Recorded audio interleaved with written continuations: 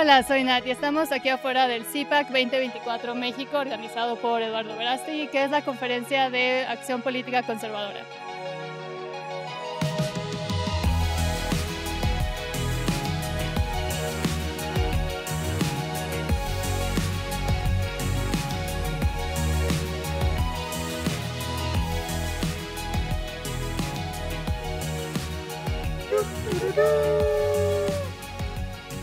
Soy Nat y este pasado sábado 24 de agosto, Guy y yo fuimos a CIPAC México 2024. CIPAC es la Conferencia de Acción Política Conservadora que empezó en Estados Unidos, pero Eduardo Verástegui desde el 2022 la ha traído a México y ha hecho un esfuerzo, yo diría que es de los pocos que está haciendo un esfuerzo en México por empezar un movimiento conservador más diferente que el que hemos visto con, por ejemplo, el PAN, que ya ni siquiera es conservador. Y fuimos porque habían varios invitados muy interesantes, por ejemplo, Tulsi Gabbard. Nos interesaba mucho verla, poder entrevistarla. Desafortunadamente no tuvo el tiempo, pero fue muy bonito verla venir a México y en especial con todos los problemas que ha tenido con volar de un lugar a otro y todos sabemos que es porque está mostrando su apoyo a Donald Trump porque los demócratas se están hundiendo. Pero bueno, regresando a México también y a América Latina, vino Agustín Laje, vino Jaime Flores, que es el representante y el vocero en español del Partido Republicano en Estados Unidos,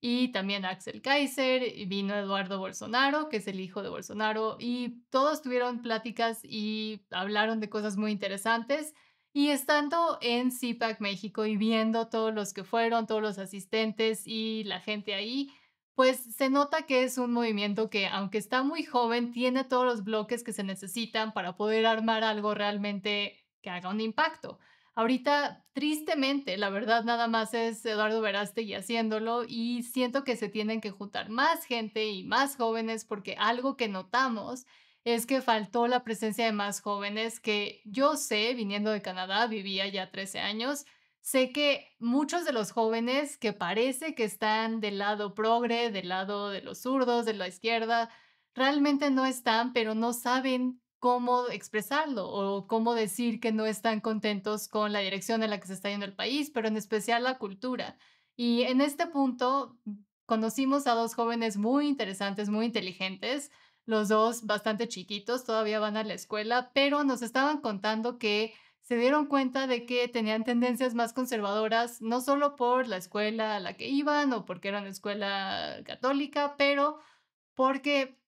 realmente no hay voces en español en México que se acerquen a lo que están pensando. Entonces, obviamente ven a Estados Unidos, ven a Canadá, ven al Reino Unido y todos los movimientos conservadores que se han empezado a formar ahí, el populismo y a reunir diferentes ideas, no solo de conservadores, pero también de libertarios y otras ideas que pueden servir en especial para combatir todo el progresivismo y todo lo woke que va a empezar y ya empezó a estar en México. Y en este punto, mientras le aplaudo muchísimo a Eduardo Verástegui, a todos los que fueron y a todos los que están impulsando el movimiento en México, siento que la plática que dio Agustín Laje en específico fue lo que se necesitaba y en especial ver la reacción de toda la gente, los asistentes que lo estaban escuchando, aplaudir en especial cuando dijo que se necesita traer más gente, se necesitan traer más jóvenes y les voy a mostrar el clip porque la verdad él lo puede decir mejor que yo. ¿Por dónde puede pasar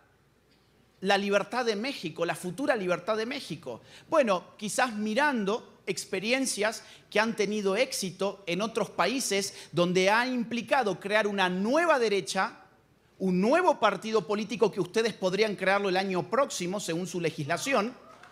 podrían crearlo el año próximo. Y,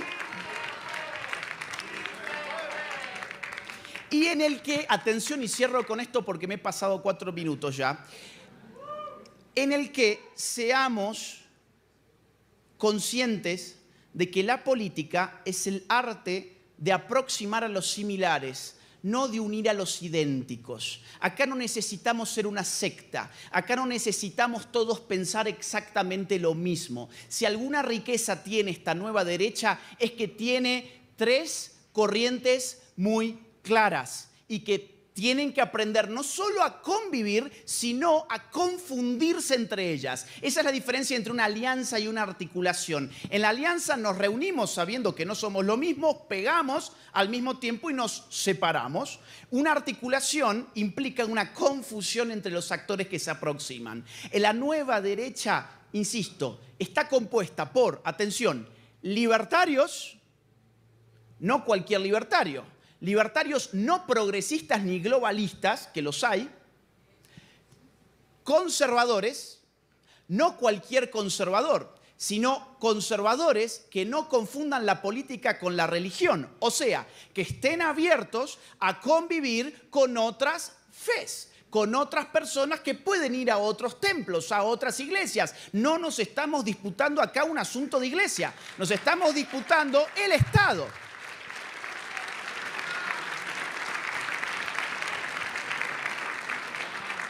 Y en tercer lugar, soberanistas, o sea, personas que saben cómo enfrentar a los globalistas, pero no cualquier soberanista, sino aquel que no confunde el amor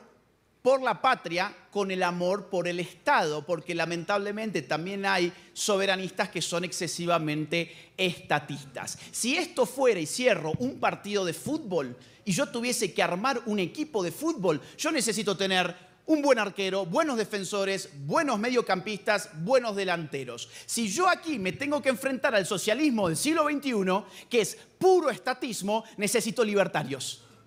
Si yo me tengo que enfrentar al globalismo, que es, extracción de soberanía nacional, necesito soberanistas. Y si yo me tengo que enfrentar al wokismo, necesito conservadores necesitamos a las tres patas de esta nueva derecha unida. Muchas gracias.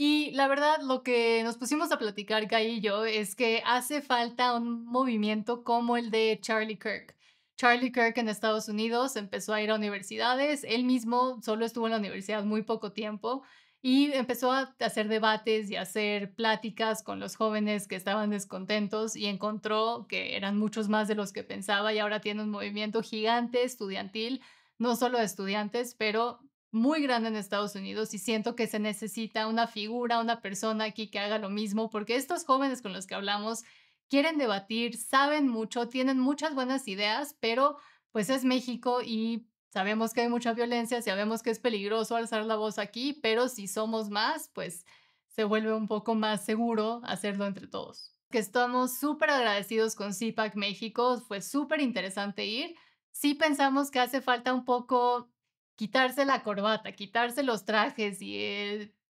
ser un poco más amigables con los jóvenes, chance una figura un poco más amigable, un poco más que hable su idioma, por así decirlo. Siento que, por ejemplo, Agustín Laje es muy bueno en hacer eso. Y en México ha de existir una figura así. Eduardo Verástegui es una figura excelente para ciertas cosas, pero también se necesita más jóvenes y más relajación, un poco. Relajarse, quitarse la corbata, quitarse el traje. Y por último, y esto no es con intención de ofender a nadie, yo no soy religiosa, pero tengo los valores judeocristianos con los que crecí, con los que crecí en México y eso siempre tiene que ser el cimiento del movimiento porque es lo que mantiene estable al resto, es lo que le falta al resto de los progres y el socialismo y todo lo demás que estamos viendo que empieza a entrar a México, que la religión se empieza a ir un poco de México. Siento que esos cimientos son muy importantes y tienen que ser la base de todo el movimiento, pero enfocarse solo en la religión, como dice Agustín Laje, o solo en ciertas religiones, no es productivo para nadie. Entonces, traer un poco más de,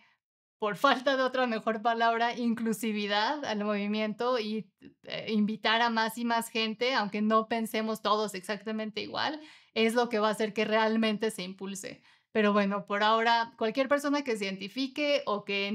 vea que las cosas no están yéndose hacia donde quiere en México y en toda América Latina, pues hay que empezar a unirnos, hay que empezar a hacer la voz ver muchos periodistas independientes en CIPAC México fue muy alentador, porque por ejemplo en Canadá es muy difícil hacerla como periodista independiente y básicamente se nos bloquea. Entonces, ver esa apertura por parte de los organizadores, por parte de Eduardo, también me pareció excelente. Y pues bueno, espero poder seguir haciendo videos en español, poder seguir trayendo noticias de otra forma, en especial de cosas que pasan aquí en Estados Unidos y en América Latina, pero en el resto del mundo también. Por ahora, por favor, suscríbete si te interesa, si te gusta, dale like, deja un comentario. Si fuiste a CIPAC, ¿qué opinaste tú? ¿Cómo ves la perspectiva de los conservadores en México? Pero bueno, espero que tengas un excelente resto del día y nos vemos pronto.